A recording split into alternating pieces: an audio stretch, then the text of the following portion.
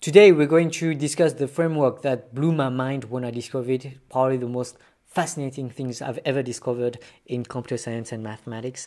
And it's uh, the work of a guy named uh, Ray Solomonoff, uh, who did really ingenious work, uh, which I think is highly underappreciated and should be much more um, studied, analyzed, uh, and taught.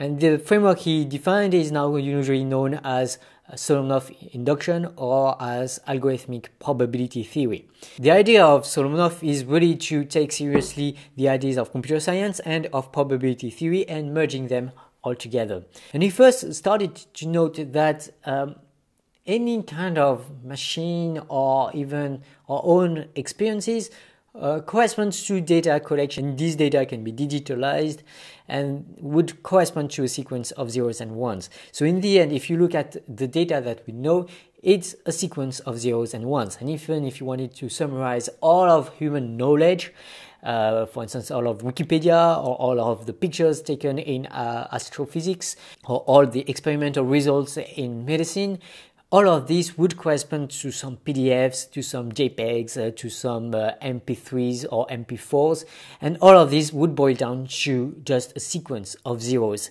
and ones.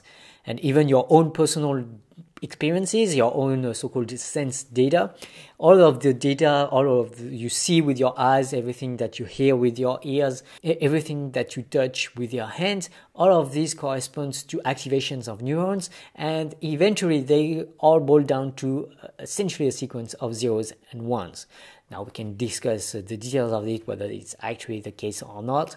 But if you assume uh, the theory of general relativity, the fact that if you put too much information in one single place, you can get a black hole.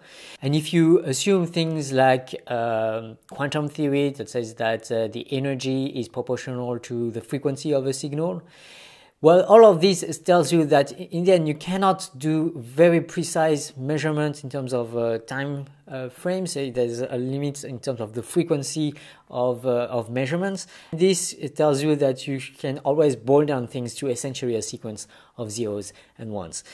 At least this is an idea that seems to be getting more and more popular, and that's at least the framework that Solomonoff worked on. He assumed that we had some data that was just a very long sequence of zeros and ones. And then essentially the question that he raised is given these long bits of zeros and ones, even given the, all the data that we've collected, what should we believe in? And the other thing that uh, did is to give a lot of importance to computational rules, which are essentially the patterns that we're trying to describe. At least that was that's what I argued in a previous video. And if you give a lot of importance to these computational rules, then it's tempting to search for theories that try to explain the data in a computable manner. In particular, Solomonoff got interested in all computational rules, uh, the set of all computational rules that govern some data. Well, actually, he did something a bit more subtle than this. Instead of focusing on deterministic prediction rule, given that the data is always a bit messy, he argued that we should instead focus on probabilistic computational rules. That, that is, computational rules that don't predict a sequence of zeros and ones exactly, but instead predict uh, that each sequence of zeros and ones is given is associated with a given probability. And so you can think of the framework of Solomonoff as trying to explain the world with computable theories, and he's going to take into account all computable theories that make probabilistic predictions about the data. And now, given all the data that we've collected, which is just a sequence of zeros and ones, he argued that we should apply the Bayes rule to determine which theories are the most believable, which computational rules should be the ones that we should give our credences to. And that's really Solomonoff's induction in a nutshell. You consider all probabilistic computable theories and you apply Bayes rule to determine how believable the different theories are. This is called Solomonoff induction and it's absolutely brilliant. It's really the most natural thing to do if you give importance to probability theory and to the idea of computational rules and the importance they have to make predictions. And a lot of people have argued, and I would argue as well, that this is the ultimate framework to make predictions. If you want to do make prediction, consider all computable probabilistic theories and apply Bayes rule given all the previously collected data to determine what ought to be believed in.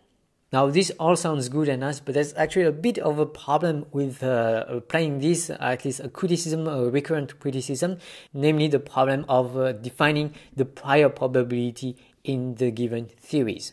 And I am going to discuss this at length in a future video, but just to give you an idea of how beautiful the ideas of uh, is, you can prove that as long as you try to set up a prior on all computable probabilistic theories out there, and they are countable. So that's really quite uh, easy to do in uh, mathematically at least. It, doesn't pose any mathematical weird problems like things with continuity and uh, Lebesgue measures and stuff like that. You don't have these kinds of problems here.